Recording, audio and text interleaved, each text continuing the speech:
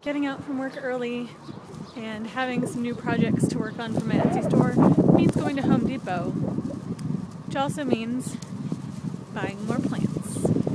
I really need to date somebody who drinks milk because I had to buy this whole thing for one recipe.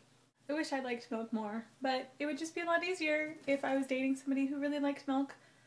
I think one day, if I ever have kids, I'm going to have to teach them to like milk so that I can have a reason to have it in the house and not have most of this go to waste.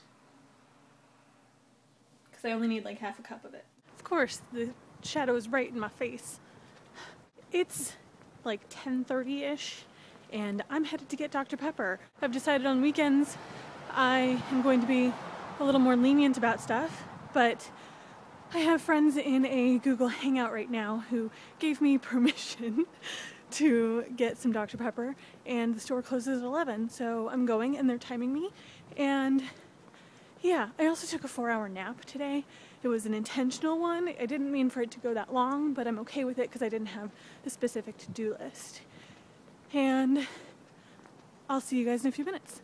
I actually stopped recording because there was a guy who was looking at me weird, and there's nobody else on this street, so yeah, I hope you guys can hear this.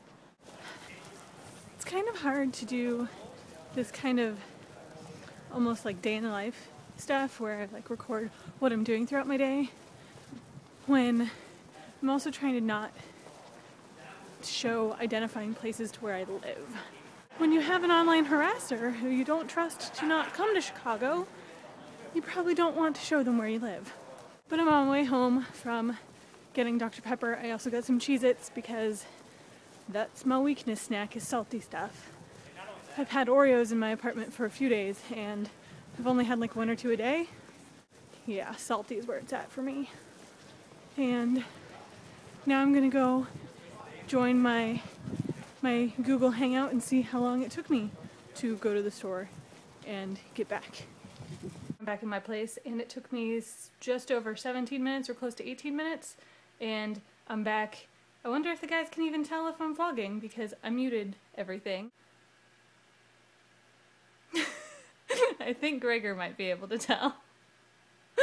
um, you should see him next week because I'm going to Demetri Martin with him. And yeah, that's gonna end the rambling for today.